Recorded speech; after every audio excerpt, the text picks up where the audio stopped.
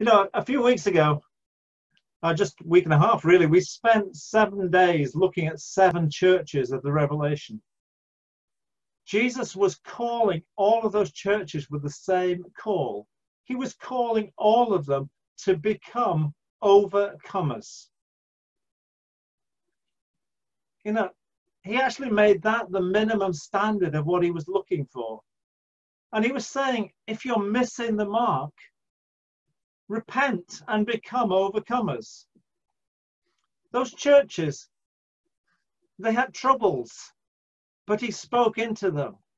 He encouraged them. And he said, Here are the rewards of the overcomer. That is what we are aiming for. We're, we're called to be overcomers. We are called to receive those rewards. You know, we have flaws. At least I have flaws, and I'm suspecting one or two of you may recognize that you have flaws. But the Lord is calling each one of us to repent of our old ways, to forgive up on our old ways of thinking and be overcomers. I mentioned last week, and I was just so struck by it that that Greek word for overcomers is Nikoa. And that out of that comes that trademark Nike, the shoes of champions. Overcomers are champions. And the Greek loved their champions. And they would put them the laurel wreath around their head as champions. But the reason they chose laurel wreaths as opposed to gold crowns was because they couldn't handle the fact that anyone could aspire to being that good. They gave them wreaths that would fade away because they knew that the glory of man would fade away. But we are offered crowns that will never fade away. That's just so, so amusing, amazing. Not really amusing, it's amazing. Uh, but that's 1 Peter chapter 5, verse 4, that we will receive crowns that will never fade away. And over these next few weeks, um, I may not take a week for each one, but I just want to handle and just share the seven characteristics of an overcomer. The seven characteristics and marks of a champion. And that first mark of an overcomer is total dependence on God when we had no hope, the Lord saved us. When we were bound, He delivered us. When we're, we're infirm, He healed us. Why would we think for one moment that we could overcome without Him? That first mark, the first characteristic of an overcomer, is that they are totally dependent on God that they are broken before Him and that they are humble. We can't meet God's mark except by His strength.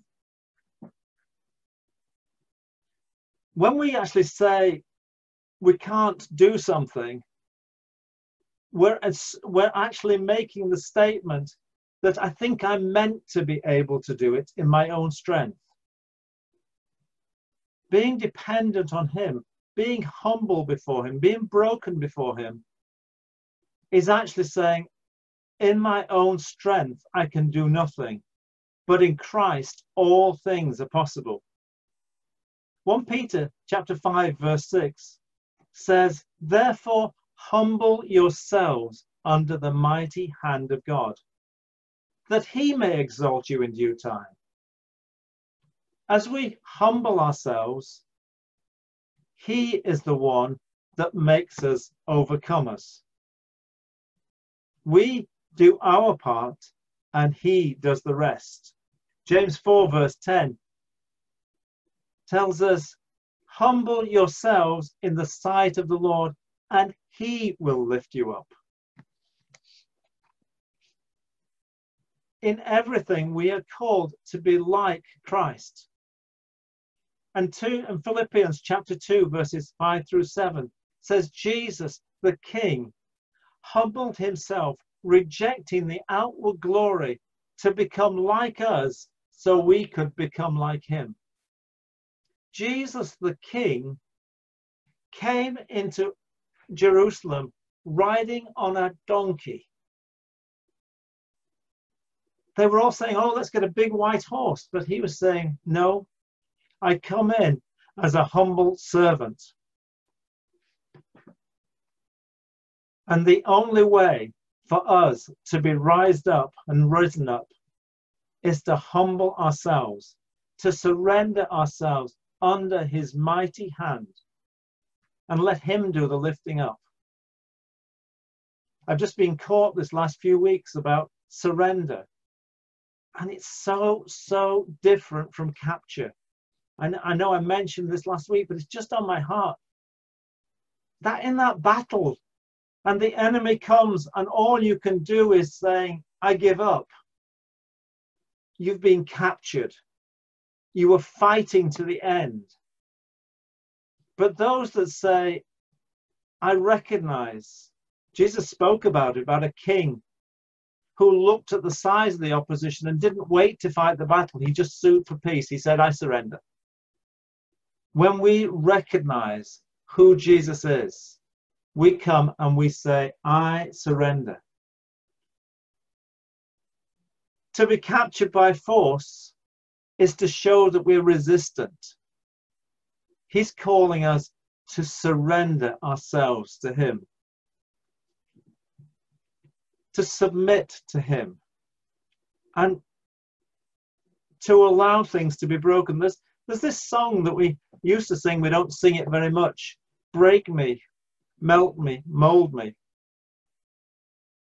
And actually, He's looking for us to allow that breaking to happen, to accept it. There's some beautiful stories about brokenness which speak into humility. Gideon had all of his might taken away, the 30,000 down to 3,000, down to 300. And they were there with their light in a pot. And when the pot was broken, the light shone forth. When there is brokenness in our lives, the light will shine forth. Another broken place was that woman coming in and anointing Jesus, and she broke the alabaster jar, and the perfume flowed out. When we allow our lives to be broken, not resisting everyone, but say, I'm broken before you. Out will come the light, out will come the anointing. And God designs things. This is the crazy thing. He actually designs things that are designed to bring us closer to Him. He designs things that move things away from our lives, to break things off. And when we just embrace his action in our life, when we embrace his dealings, when we surrender ourselves to him, he begins to work afresh.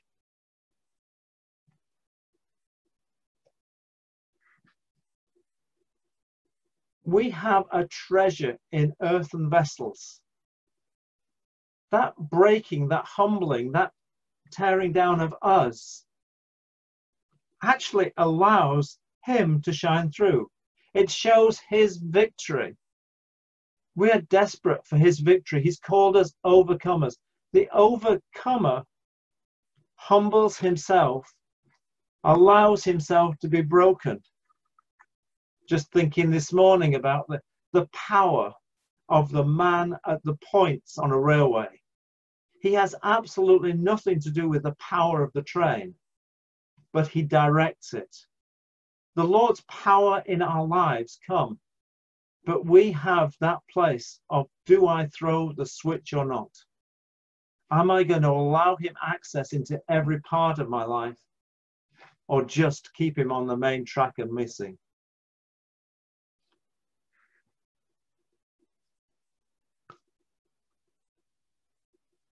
God is looking for that brokenness. He's looking for that humility in our lives. And he's looking at it in three places. He's looking at first in our intellect. Paul said, I know not as I ought to know. That admitting that actually I don't know everything. It's so easy for us to want to have our hands on everything. It's so easy to go to the other extreme and glorify ignorance. I've seen that so often in the church. But it's the other one of exalting intelligence. Neither of them are what God is calling for because He is saying, You must have the mind of Christ. Hey, He knows everything. It's His strength, it's His glory. He wants us to allow our intellect to be broken so that His mind can be there. He wants to see our emotions broken so that we're not controlled and dominated by every wind that comes, everything that happens. He's not calling us to be stoic. That used to be the way people thought, oh, I'll show I've got control over my emotions by not having any. That isn't what God is ever saying. But He's also saying, don't be caught by every wave of emotion that comes. He is saying, if we are broken and humble, then we have His feelings, His compassion. We spoke about this a few weeks ago when we mentioned intercession and we, we taught on that. What's happening is that we feel God's feelings, we see as God sees. And probably the hardest part to see broken in our own lives is our own will. But Jesus, our prototype, our example, he said, Not my will, but your will. Not my will, but your will. Surrendering our will, humbling ourselves to God's will. That surely is the key and the doorway into becoming an overcomer. One of the challenges is that we sometimes try to adapt and adopt something and take on something. Well, this is the this is the mold I need to fit into.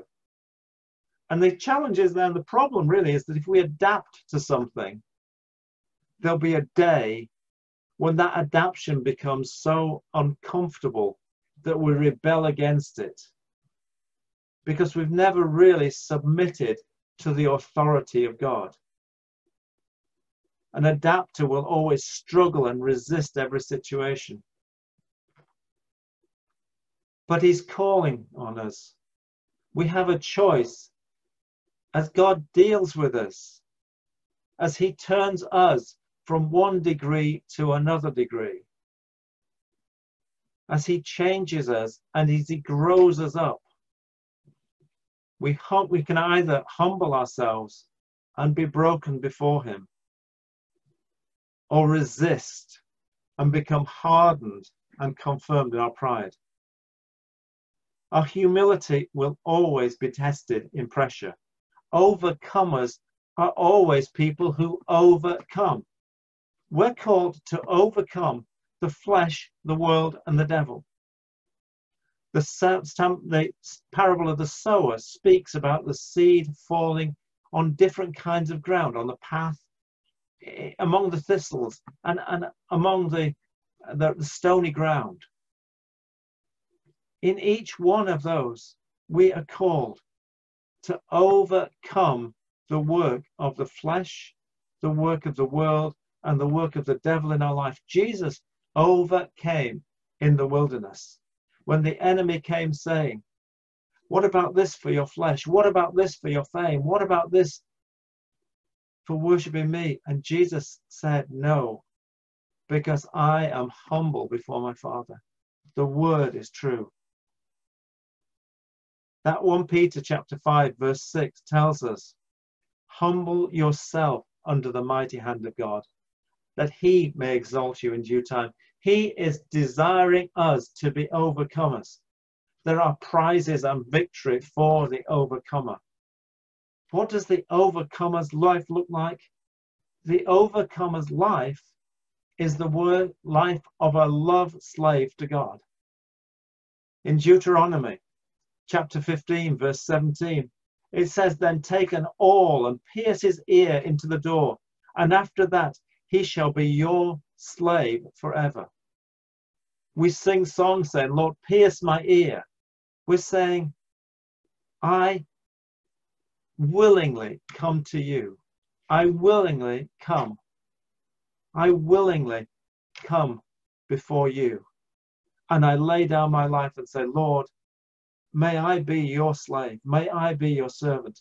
The humble life is the life of a servant devoted to his master. God's calling us to willingly follow him, to serve him, because we want we love him and our desperation in our heart is to please him. Galatians 4 verse 1 says that as long as the heir is a minor, he's not really much different from a servant, although he's a master of all of them. The Lord is calling us to be overcomers. And that overcoming is by being a servant, by being a slave to Him, surrendering all to Him, humbling ourselves. Next time, we're going to look at the next characteristic of an overcomer because it promises that those who are children of God are overcomers as today we've looked and seen how humbling ourselves, allowing ourselves to be broken, is the number one mark of an overcomer. Let's remember the prizes that are there for the overcomer. Let's remember the promises that God has made. If there are places where we are missing the mark, he says, simply repent, turn from it, and come back to everything that he has for us. It's so, so exciting. The Lord is calling us to be overcomers in this life so that we may receive the prizes of living and serving and ruling with Christ through eternity. Amen.